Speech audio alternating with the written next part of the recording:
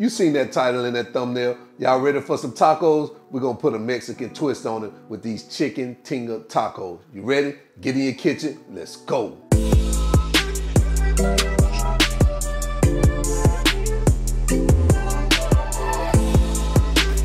So let's do a quick rundown of what we're gonna use today. Right here we have our chicken thighs. I just pulled them out of the refrigerator. That's why this bowl's kind of foggy. Um, but you can use chicken breasts or chicken thighs. It's totally up to you. And right here we have roasted tomatoes. Now, if you don't have roasted tomatoes, you can use some uh, tomato sauce. That's fine. You can use tomato sauce. Right here we have some onions. We have some chipotle peppers and adobo sauce. Here we got them jalapeno peppers here, some garlic, some cumin, olive oil. And right here we have some dry Mexican oregano. That's it, guys. You ready? Let's get to it. All right, so now we're gonna get started by seasoning our chicken. Now I'm gonna use some seasoned salt and you just season it to taste however you wanna do it. That's why I'm not giving you any me measurements for this. Use me some seasoned salt. You can use regular salt and pepper. It's totally up to you. Definitely gonna use some pepper, but I'm not gonna use regular salt with this. I'm gonna use some seasoned salt. We'll come behind that with a little pepper.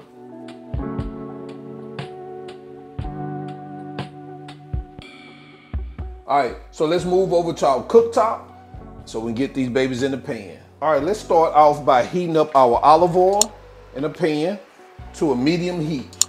Once you get that oil up to temperature, add your onions along with your jalapenos. And we're gonna cook that for about five minutes. Get those onions and those jalapenos softened.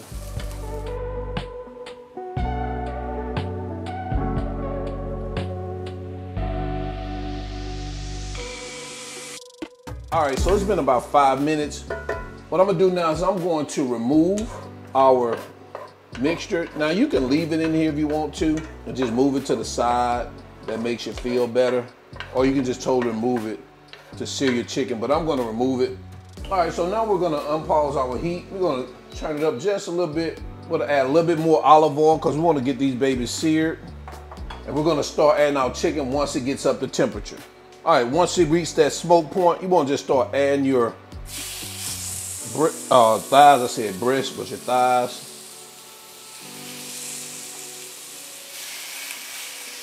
And you want to do a you know a nice sear for about two minutes, two to three minutes on each side.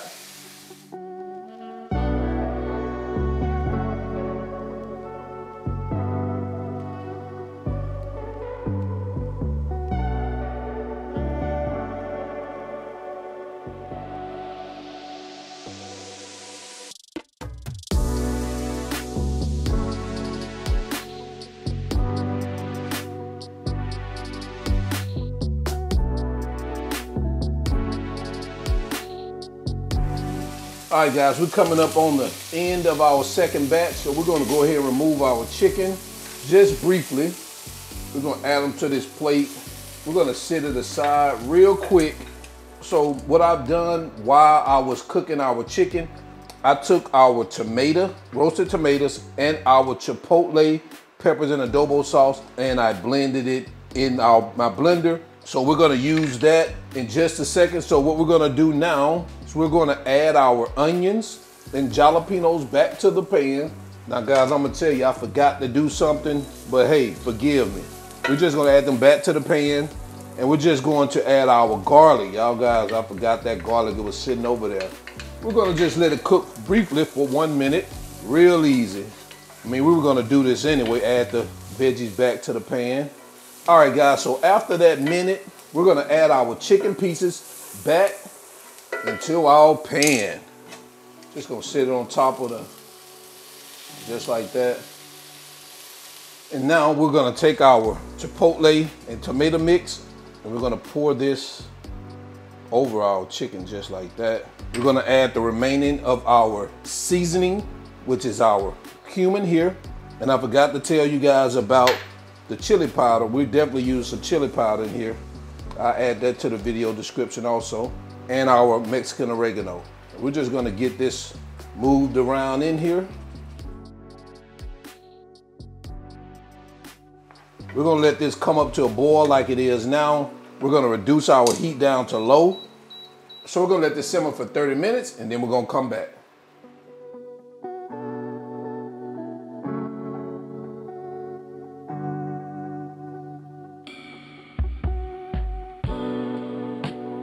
All right, so we're about 30 minutes in. I'm just gonna check our chicken to make sure that it's, you know, we can get this bang shredded once we get it out of here.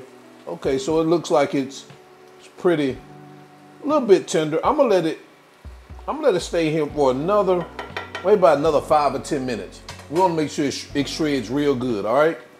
I'm gonna cover it up for this last five or 10 minutes, and then we're gonna come back. All right, guys, so it looks like we are there. I'm gonna pause our heat. We're gonna move our chicken from our pan over to a bowl, and we're gonna start shredding it with a fork. So let me get my tongs. All right, so let's get over to our cutting board.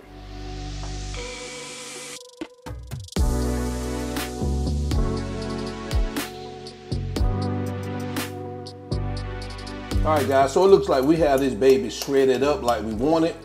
So we're gonna head back over to our cooktop we're gonna add it back to that sauce, let it cook just a little bit more in that sauce so it can absorb it, and then we're gonna prepare our tacos.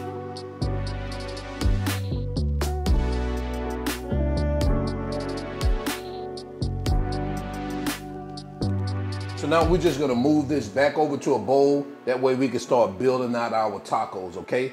So let's get this in a bowl and we're gonna move over to our cutting board.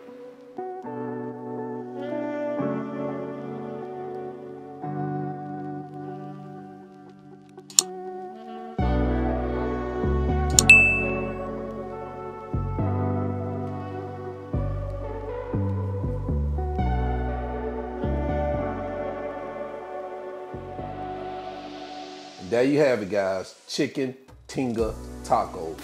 Let me know what you think about this recipe in the comment section below. We're gonna jump into quality control because I know y'all ready to test these out or y'all ready for me to test them out. Y'all ready? Let's go. All right, guys, we're back in here, quality control time. You always know whenever I do some tacos or pizza, you can always find Leah running up behind me for quality control. So I got her here with me, and we have our chicken tinga tacos. Now, she typically don't eat hot stuff, but I'm gonna tell you, she's gonna get either try, but I'm gonna let you know, of course they're hot. They have chipotle peppers in it and adobo sauce, that stuff is hot, but you know, we did mix it in some uh, roasted tomatoes, so we're gonna see what it tastes like. So go ahead and grab you one, Leah. Man, they look good, don't they? They look very good. Are You ready? Mm-hmm. And we got our water on the side. Well, she got a, I got some water too, but I ain't too much worried about it because I like hot stuff. But let's check it out.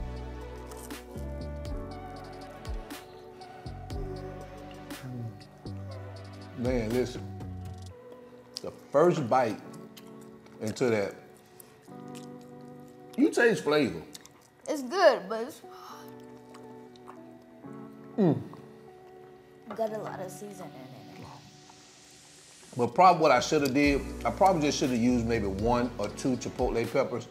I think I put about four or five. I just put the whole can. Whatever was in the can, I just dumped it in there with the roasted tomatoes and that's it. But if you want to cut down on that, don't don't put any chipotle peppers in. Just leave the chipotle peppers out of it and just add the adobo sauce along with your uh, roasted tomatoes, and that'll cut down. But other than that, for me, this is great. I love it. Mm. So let them know what you think about it besides it being hot, because they already know that you know it's hot. Mm -hmm. They can look at you and tell that.